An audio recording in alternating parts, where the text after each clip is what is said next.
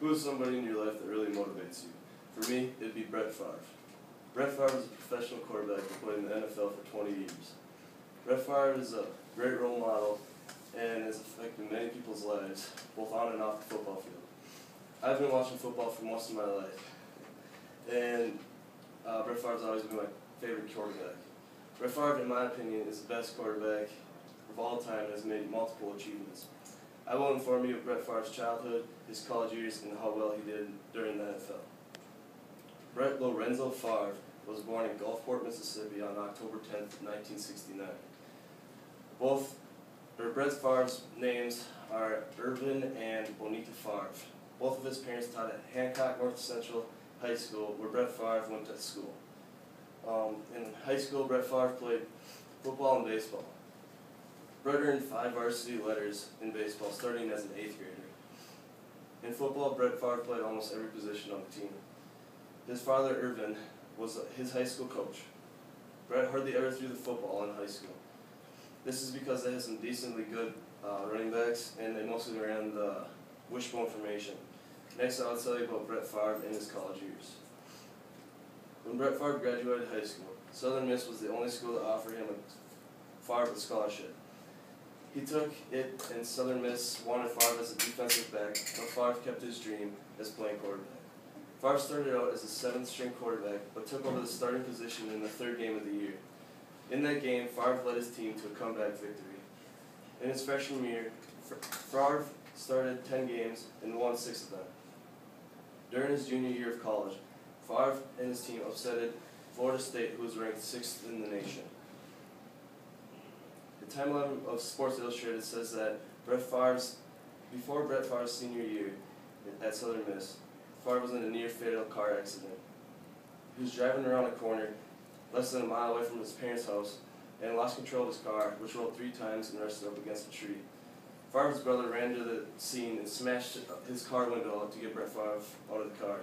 When the ambulance arrived, Brett and his mom was uh, loaded up to the ambulance. In the ambulance, Favre kept asking his mother if he'd be still be able to play football. At the hospital, Brett Favre ended up with a concussion and cracked vertebrae. Six weeks after the crash, Favre was back out on the field.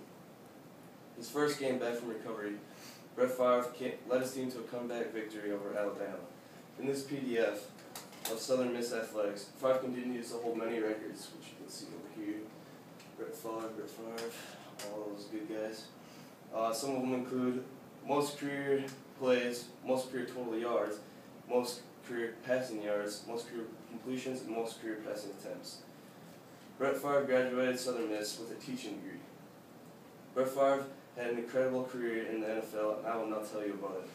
To begin, the Atlanta Falcons drafted Favre in the 1991 NFL Draft as the 33rd overall pick. Falcons coach Jerry Glanville didn't like Brett Favre at all. Favre's first pass in the NFL resulted as an interception returned for a touchdown. The Green Bay Packers traded with the Falcons the following offseason to bring Favre to the, into Wisconsin. Um, Favre played 16 seasons as a Packer. Brett Favre started out with a very tough couple games, but in the third game of the year, the Packers were playing the Bengals, and Green Bay's starting quarterback got hurt and was replaced by Brett Favre.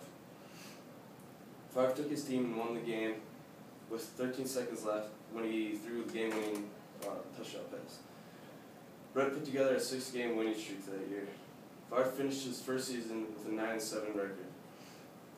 In 1995, Brett won his first MVP award this year, Favre led his team to 11 and 5 season. The next season, Favre won his second consecutive MVP award. In 1997, Favre also won his first Super Bowl. Favre won his third consecutive MVP award that year, which is also a record. In 2001, Favre uh, signed an extension contract worth $100 million. In 2004, Favre and the Packers held the longest streak of non-losing seasons in the NFL with a uh, record of 13 seasons.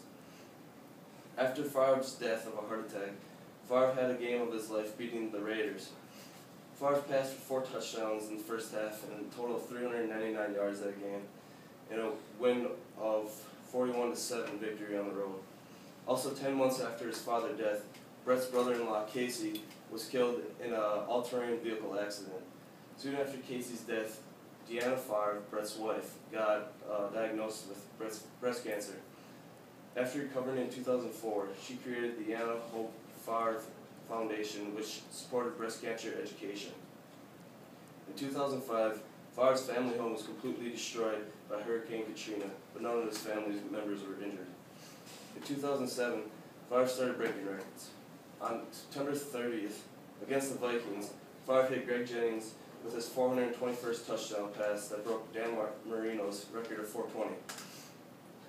On Thanksgiving in 2007, Favre threw his 63rd game with three touchdowns or more, um, passing up Dan Marino's previous record of 62 games. On March 4th, Favre formally announced his retirement, but this, this didn't last long. Favre then came back and wanted to play for the NFL on a different team. The Packers then traded Brett Favre to the Jets on August 7, 2008. His season with the New York Jets started out great. Towards the end of the season, the Jets started to slow down and Brett was having shoulder pain.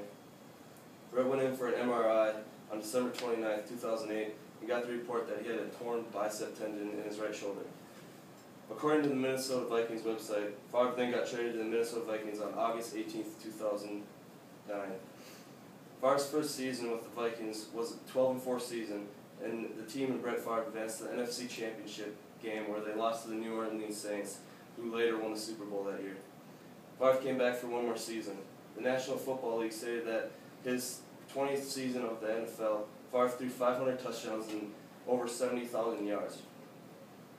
On December 13th, 2010, Favre ended up with Favre ended his consecutive start streak at two, 297 due to a sprained AC joint in his right shoulder. On December 20th, Favre and the Vikings played the Bears. During the game, Favre suffered a uh, concussion uh, against uh, rookie Wootton, and this a video of it. Show you. This is his last play in the NFL. Put that in the, come on, man. Second quarter, third score from the Chicago 48, Favre drops back, but Corey Wootton, the rookie, comes off the edge, and Favre stays on the ground. The question, would it be Favre's last, not only of the game, but ever? Well, Wootton goes down. That's where the Minnesota Viking champions went also. Second and 10, Minnesota 15. Couple- That's where he suffered his concussion. Um, on January 17, 2011, Favre officially filed his retirement papers with the NFL. In conclusion, for these reasons, I think Brett Favre is the best quarterback that has ever played professional football. He has gone through many bumps in the road to get to where he was. He played his heart out every play. He did whatever he had to do to be the best that he could. He really showed the nation how good of a player he really was. Not only was Brett Favre a great quarterback, he still is a very generous and willing person.